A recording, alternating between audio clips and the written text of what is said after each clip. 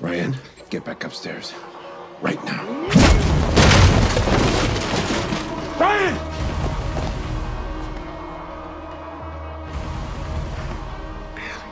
Little shit.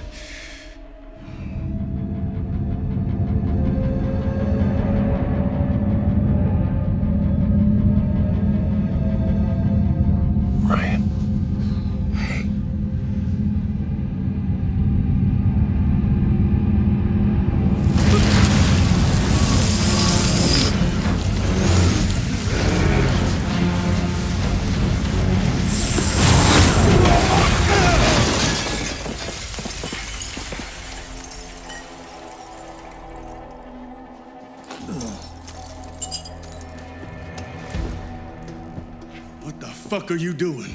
Not the kid. Oh, I thought you said blood didn't matter. I thought that was the whole fucking point. He's my wife's son. Wait, Homelander fucked your wife? And you want to save the brat? The hell's wrong with you? I made a promise. So this is it. Everything you wanted, he's right fucking there. And now you blink? Stand down. Fuck you! You're weaker than he is.